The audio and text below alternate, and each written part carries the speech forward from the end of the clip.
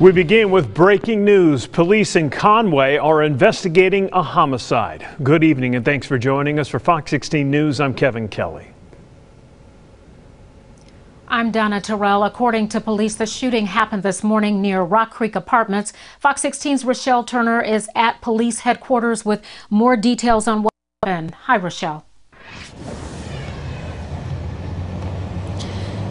Donna Kevin, good afternoon to you. Conway police are in the early stages of this homicide investigation and they're not releasing much information at this hour. I did reach out to the victim's family who did not want to go on camera. They told me that they were heartbroken and they're still just trying to process what happened this morning. Take a look at this video on your screen. This is video from the Rock Creek apartments on 2nd Street.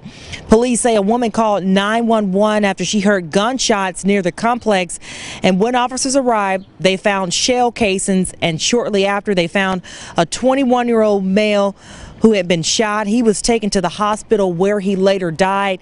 The public information officer tells me that they spent the morning talking to people who live by to see if they can try to piece any information together to try to determine if there's a suspect. But right now, none of that information is being released. We're going to continue to update you online and on air.